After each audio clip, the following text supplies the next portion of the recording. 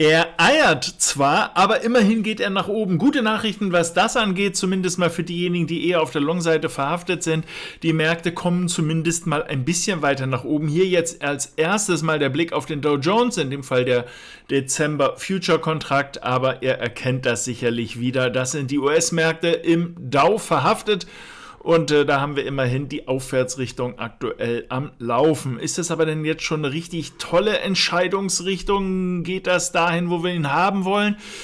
Hm, wo auch immer ihr ihn haben wollt. Ich bin mir da noch nicht ganz sicher. Punkt 1 ist, wir haben hier eine ganze Reihe Kursüberschneidungen. Das ist eigentlich kein Zeichen für, jawohl, wir sind frohen Mutes und sind ziemlich überzeugt, dass das, was das, äh, was die Richtung angeht, dass das die richtige Richtung sozusagen ist. Ich habe da zugegeben meine Zweifel. Der Markt ist dann noch sehr vorsichtig unterwegs. Und das Ganze mündet mehr oder weniger, wenn man will, in die Chance, einer Korrektur, nämlich einer klassischen dreiwelligen Korrektur, die vielleicht in etwa so aussieht, zack, zack, zack, wir sind jetzt so halbwegs schon da oben und dann wird entschieden. Ja, an den Charts? Nein, ihr wisst es natürlich genauso gut wie ich. Heute liegt es nicht an den Charts. Es liegt nie an den Charts. Es liegt immer an den fundamentalen Informationen. Und die haben wir heute total spannend aus Amerika und da sind wir schon auf Tomorrow eingestellt, das war noch von gestern. Ihr seht, dass wir hier auf Amerika eingestellt sind. Um 20 Uhr unsere Zeit, da gibt es vom Offenmarktausschuss der US-Fed, des Federal Open Market Committees, da gibt es einerseits die Zinsentscheidung, nämlich hm, 75 Basispunkte, das ist das, was der Markt insgesamt jetzt äh, einschätzt. Das sollte uns auch nicht wirklich überraschen. Viele gehen immer noch davon aus, Mensch, die FED, die legt die Zinsen fest. Die äh, FED orientiert sich extrem stark am 90-Tageszins oder 13-Wochen-Zins.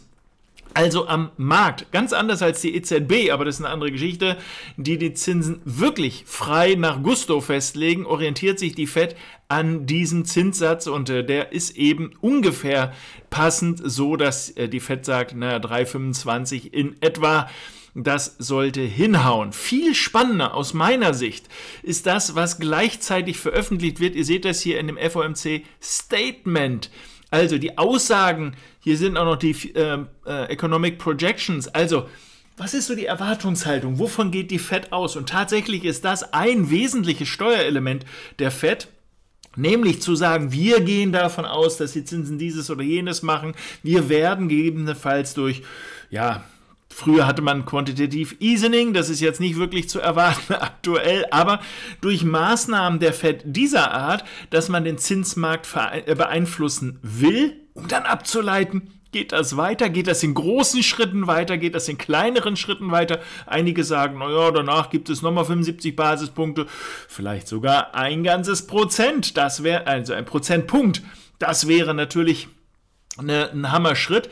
Vielleicht können wir das aus den Statements rauslesen. Ja, aber wenn es doch sowieso die Statements sind äh, und äh, die, die Nachrichten der FED, die jetzt heute Abend den Kurs bewegen, warum gucken wir dann überhaupt auf den Chart? Das ist insofern sinnvoll, dass wir am Chart ablesen können, wie die Marktteilnehmer auf etwas reagieren. Das heißt, alles das, was wir hier haben, ich gehe vielleicht doch mal auf einen 5-Minuten-Chart, um das ein bisschen im kleineren Bild zu haben. Denkt mal dran, das ist ähm, bis dahin wäre das ohne weiteres eine wunderbare Korrektur, die sich in diese Richtung nochmal fortsetzt. Aber es wäre doch auch denkbar, nee, nee, nee, Rüdiger, völlig anders. Wir haben hier eine erste Welle, eine zweite als Korrektur, wir sind jetzt hier in der dritten Welle und anschließend schießt der Kurs weiter. Das heißt, natürlich wird die Entscheidung, ob es hoch oder runter geht, hier gefällt.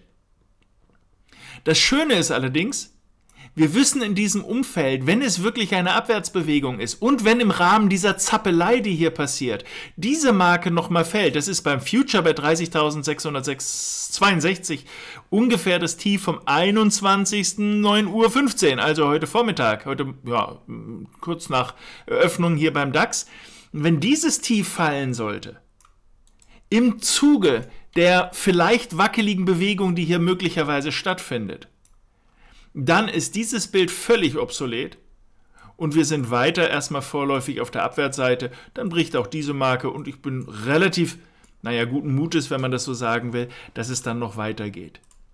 Wenn er direkt hochschießt, hey, safe. Wenn er hier ein bisschen Pause macht, ein bisschen rumeiert hier, aber oberhalb dieser Marke bleibt, auch noch kein Drama. Das heißt, die Charttechnik wird über diese oder diese Entscheidung nicht bestimmen. Das macht sie übrigens nie. Ich werde da häufig falsch verstanden im Sinne von, ja, die Charttechnik und daran sieht man, was der Kurs als nächstes macht. Nee. Aber er zeigt, ob die Marktteilnehmer weiterhin guten Mutes sind oder ob sie aufgegeben haben. Dafür sind diese Marken da. Daran ist wohl auch eher zu erwarten, dass der Markt wahrscheinlich heute Nachmittag so in diesem Umfeld erstmal Pause macht. Dann hat er nämlich beide Optionen offen, ob er dann den Bruch äh, sich traut oder dann doch eher die Drehung sich traut. Also für heute Nachmittag meine Vermutung, dass wir ähm, hier erstmal so ein bisschen festhaken in diesem Niveau. Das ist jetzt aktuell sind wir bei 30.950 circa. Vielleicht geht es da auch noch mal ein bisschen höher bis äh, 31.050 von mir aus. Irgendwie sowas in der Richtung. Was ich spannend fände, ist, wenn der Markt jetzt heute Nachmittag schon irgendwie sowas hinkriegen würde, so eine große Korrektur, nur da geht ihm die Zeit aus. So viele Stunden haben wir nicht mehr bis zur Fettentscheidung. Wenn er das noch hinkriegen würde in der Form, dann hätte ich den Eindruck, dass die Marktteilnehmer eher von was Bullischem ausgehen. Und auch das ist wieder für uns, Markt, äh, für uns aktive Händler eine wichtige Aussage, denn das bedeutet, wenn der Kurs doch nach unten geht, wäre das eine Überraschung für die Marktteilnehmer. Vorsichtig, das ist nicht da, das war jetzt eine Annahme. Also, im Moment lässt sich der Markt beide Sachen offen und hat keine große Präferenz. Er sagt sich, ah, wir wissen es einfach nicht. Nur wenn wir hier so korrektiv irgendwie was hätten in der Richtung, dann wäre das eine Voraussage. Und hier haben wir jetzt eine abgeschlossene äh, Korrektur an der Stelle, die das absolut ermöglicht. Aber wenn er nach oben ausbricht, hey, das ist ein tiefster Punkt. Der Kurs kam von oben, wir gucken es uns nochmal an. Der Kurs kam von oben. Warum sollte an der Stelle nicht ein klassischer 1, 2, 3, 4, 5 Weller entstehen? Und ihr seht, bis dahin ist kein Unterschied zwischen diesem Szenario und diesem A, B, C, also bis zum aktuellen Niveau, und anschließend diesem Szenario. Und daran seht ihr, wie wichtig das ist mit der Charttechnik, denn wir haben dadurch Marken, an denen wir sagen können, okay, das bullische Bild an der Stelle ist rum. Ich habe es euch vorhin namentlich genannt. Da ist es rum. Wenn wir im Zuge dessen des Anstieges, also ein Ausbruch aus diesem Trendkanal, das ist so ungefähr bei 31.000, 31.050, irgendwie sowas in der Richtung, wenn wir da einen Ausbruch kriegen, dann ist das bärische Bild vorläufig gestorben. Und dann halte ich es für sehr realistisch, dass wir zumindest mal wieder so halbwegs auf diese Höhe hochgehen. Das wäre das normale Verhalten. Die Entscheidung fällt nicht der Markt, Entschuldigung, nicht der Chart, der Markt natürlich schon, um Himmels Willen, aber natürlich fällt die Entscheidung jetzt nicht der Chart. Die Entscheidung fällen die Marktteilnehmer, aber sie machen es mir einfacher, jedwede Entscheidung dann zu klassifizieren und welche Bedeutung hat das dann im Nachgang. Wie sieht es beim S&P 500 aus? Naja, grundsätzlich ähnlich. Auch hier ist, ich vereinfache das jetzt mal, dieses Grundmuster da. Also ich würde mich nicht wundern, wenn er noch in den nächsten Stunden irgendwo bis da oben reineiern würde und da wahrscheinlich dann verharrt, bis er dann eine Entscheidung um 20 Uhr in die Umsetzung bringt. Das wäre jetzt sehr typisch. Das muss nicht so sein. Aber wenn er es so tut, habe ich eine klare Aussage, so wie ich es eben beim DAO erklärt habe.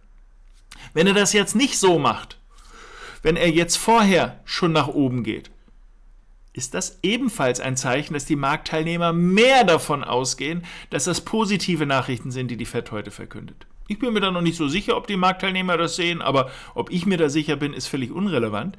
Aber würde der Markt so diese, diese Zone da verlassen, würde das bedeuten, dass die Marktteilnehmer sich doch schon festlegen für die Long-Seite. Das heißt, wenn sie enttäuscht würden, ist es eine bittere Enttäuschung. Und damit, also wenn ihr dann eine schnelle Reaktion nach unten habt, wäre das aus meiner Sicht eher eine bittere Enttäuschung mit echten Chancen hier nochmal runter. Wartet auf die wackeligen Gegenbewegungen, um dann eure Shorts zu initiieren.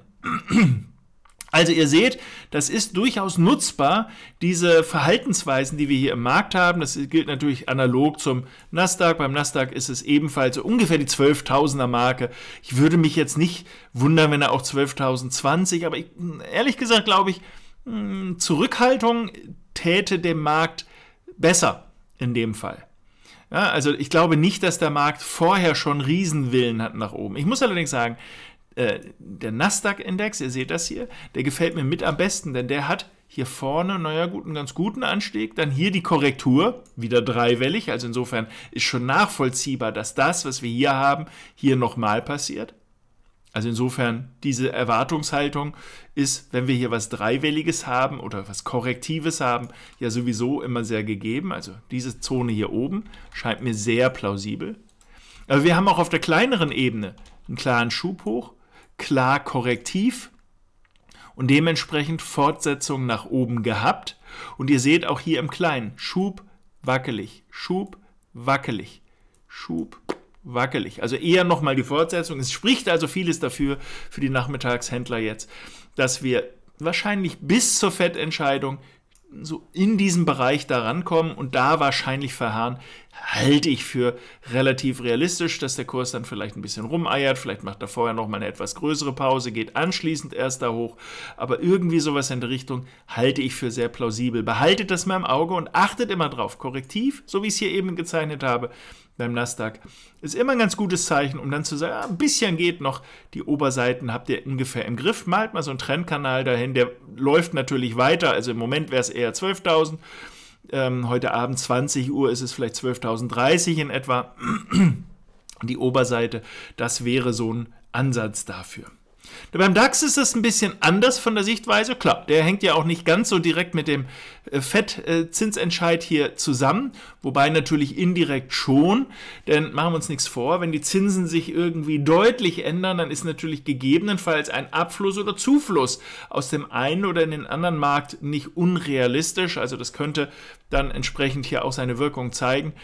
Der DAX im Moment eher noch auf der bullischen Seite, ihr seht das hier, wenn man hier bullisch sein möchte, ich fände es gut, wackelig runter, um danach den Einstieg hier eben zu haben. Das heißt, das würde ich mir hier wünschen. Also ihr seht, das Bild ist hier anders. Diesen Trendkanal, den ich eben gezeichnet habe, das passt hier nicht. Wir haben hier eine andere Situation beim DAX als beim äh, amerikanischen Markt. Nichtsdestotrotz gilt natürlich, relativ stark war bisher diese Bewegung wenn wir hier so in die Mitte dieser Bewegung wieder zurückfallen und das möglichst dreiwellig, wären das Voraussetzungen für den Anstieg. Möglicherweise äh, werden wir das in der Folge sehen, vielleicht nicht jetzt unbedingt zeitgleich zum, äh, zum Zinsentscheid, aber falls ihr das seht, falls ihr dieses Muster seht, ihr kennt das Spiel, wäre ja eigentlich diese Bewegung da hinten sowieso noch mal zu erwarten, mit Chancen, vielleicht sogar noch auf deutlich mehr. Also ihr seht schon, die Vorbereitungen auf den heutigen Abend, die sind äh, das, was den Markt heute wahrscheinlich naja, bewegt hätte ich fast gesagt, eigentlich eher hemmt, denn ich denke mal, dass wir so richtig über diese Szenarien hinaus vorher nichts mehr sehen. Ich glaube nicht, dass die meisten Marktteilnehmer sich so weit aus dem Fenster lehnen vor der Zinsentscheidung, aber im gezeigten Rahmen kann ich mir Bewegungen durchaus vorstellen. Ich hoffe, dass sie euch hilfreich sind, die Überlegung für eure eigenen Handelsentscheidungen. Und denkt immer dran, der Chart entscheidet nicht, was als nächstes passiert. Der Chart zeigt, was die Marktteilnehmer mit der aktuellen Situation anfangen. In diesem Sinne euch alles Gute und liebe Grüße.